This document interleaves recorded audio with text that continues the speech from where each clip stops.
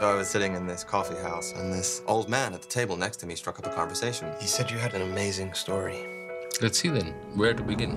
I was born and raised in one of the most beautiful places on earth. It was a time filled with wonder that I'll always remember. But when my family chose to move our zoo halfway around the world, that is when my greatest journey began.